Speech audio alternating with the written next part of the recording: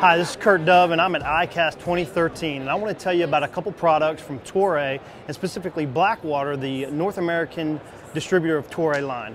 First line I want to tell you about is the Super Hard Upgrade.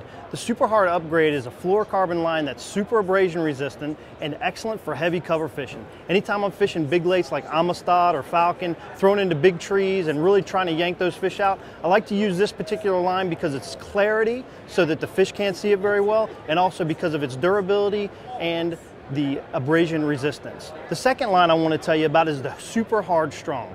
The great thing about Toray and Blackwater is they're bringing you several different lines that are technique specific. This particular line, the Super Hard Strong, is very supple. I really like to throw the big swim baits on this particular line. When I'm in Amistad, I can throw this line a, a billion miles because it's so soft and it's also very, very clear. So in the clear water situations, the Super Hard Strong is definitely the uh, line to go to. And you can find these products at tacklewarehouse.com.